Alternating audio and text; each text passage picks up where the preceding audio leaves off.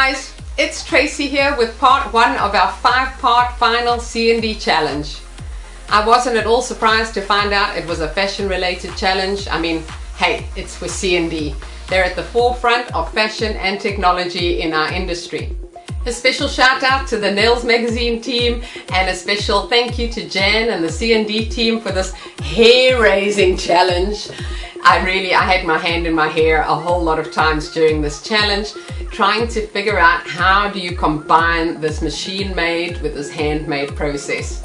Fortunately, through a lot of research and a lot of perseverance, I've come up with a couple of really unique ideas and I hope that I'm able to inspire the nail technicians that are watching to push your limits and come up with things that you never even thought you could imagine were on a nail. Johnny, Lena, I, I wish you a big thumbs up with your challenge. Can't wait to see what you guys have come up with. But that's enough chatting for now. Come and have a look what I've come up with. Ciao for now, guys. The first part of the design will be done by sewing machine. We're creating some pleats by stitching straight lines onto a piece of fabric. Hold one side of the fabric and pull the thread on the other side of the fabric which creates the pleats. This pleated design will be held into place on the tip using double-sided tape. Using some metal sheeting, I've cut off some strips and attached these to the tip. These can be further held into place along with the fabric using some beading clamps from Jewelry Design. On top of the beading clamps I've added some metal chain. The design can further be enhanced using some rhinestones. I will be using gel strips at various parts in the designs. In order to create these gel strips, use a soak-off top gel. Cure it, apply a color gel, cure it, and then add a chrome powder of your choice. This is then sealed again with the top gel, cleansed, and then you're able to cut these into any shapes. I've created some strips which I will then attach using a resin to create lovely pleating for my design. The base nail has some peacock layering which is created with black LED gel. With regular curing you ensure that the enough relief stays and once you've added your gold chrome powder onto it this really pops out. Using a resin I can attach my pleat to the base design.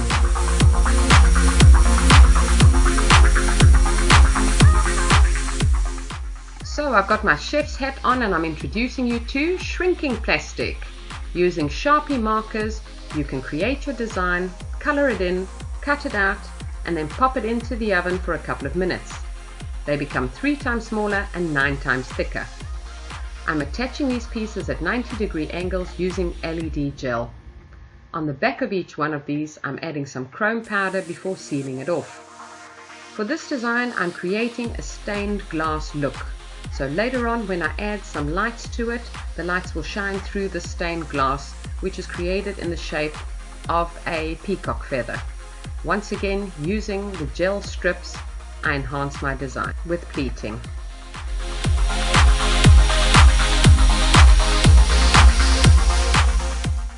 Using a black color gel with an extra tacky layer, I'm creating a foil design base for this nail. The pleating on this nail will be done by using Creative Play lacquer on a transparent base. When it's properly dry, you can peel it off, cut it into shape and create a concertina pleated effect. These pleats will then be held in place using decorative tape. Back to our gel strips where I've created an outline for a bow.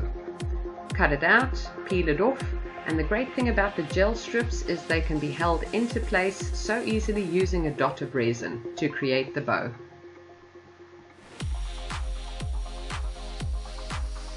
Instead of just adding a rhinestone, I decided to create one. This has a LED base with a layer of black color gel before adding various layers of cracked ice flakes and gold leaf. In between each of these layers I've added a thicker layer of LED gel in order to create depth in the stone. This will then be filed into shape and finished off with a no cleans top seal. Further enhance your uh, stone by creating a peacock design using a gel paste. You have great control over this so it doesn't run when you're using it. this is dusted off with some gold chrome powder.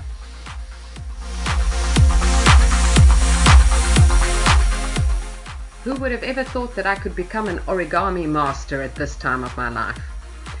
I needed a design to take to the 3D printing company, so I started bending, folding, cutting, and came up with a design that was pleated and looked like a peacock tail. So off we went to Lay3rs, which is a 3D printing company in Eindhoven, and I got to sit down with Albert and Jeroen and explain to them exactly what it was that I was looking for. They were pretty fascinated that they were creating something for nails. It was pretty fascinating because the machine they chose to use to create this design is a gel-based machine where they shoot UV light through it to create the 3D element. This has a slightly tacky layer and I could quite easily add my various color chrome pigments to it. I extended the lines coming from the peacock tail onto the nail using a gel paste to create a great relief. This will once again be enhanced once I've added the chrome powder to it.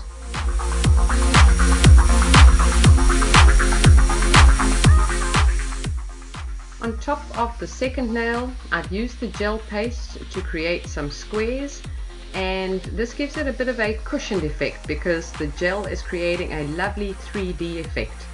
You can really see this once we've added the chrome powder to it. Much of the inspiration behind this design has come from the Manus X Machina exhibit at the Met. I've included the link below. Thank you so much for watching and don't forget to subscribe so that you can continue watching as we continue our final process to Nails Magazine's Next Top Nail Artist.